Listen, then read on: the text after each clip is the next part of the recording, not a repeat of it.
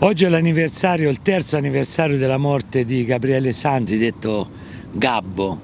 Ieri siamo qui nell'area di servizio di Badia Alpino dove venne colpito dall'agente di polizia Spaccarotella.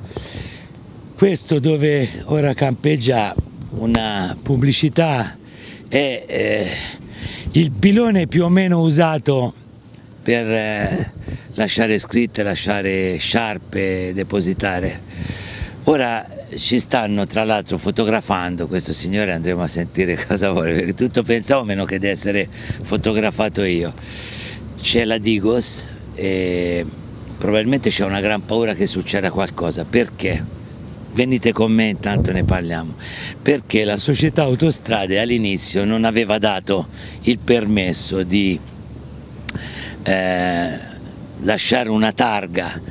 Poi la famiglia Sandri ha fatto opposizione, ha chiesto tramite il sindaco di Roma Lemanno, tramite la mm, presidente Polverini della regione Lazio e la società autostrade cosa ha fatto? Ha detto eh, vabbè sentiamo eh, l'autogrill, il terreno dove insiste l'autogrill che è nel comune di eh, Civitella in Valdiciana. Il comune di Civitella in Valdiciana si è sentito tirato un caso, ha detto ma come fino ad ora avete messo mille cartelli, non ci avete mai chiesto nulla, perché oggi ci chiedete della possibilità di mettere questa targa?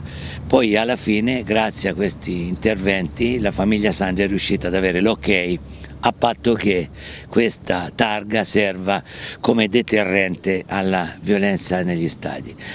E dall'area di servizio di Badia Alpino ci spostiamo all'uscita di Arezzo, in località Battifolle, dove in realtà Gabriele Sandri morì, perché fu colpito nell'area di servizio e morì qui. Infatti è stato posto un mazzo di fiori con la scritta Gabriele con noi e ricordo per coloro che non lo sapessero che i primi di dicembre parte, riparte il processo di appello per il quale l'agente Spaccarotella in prima, in prima istanza è stato condannato per omicidio colposo e poi saranno i giudici che avranno il suo iter.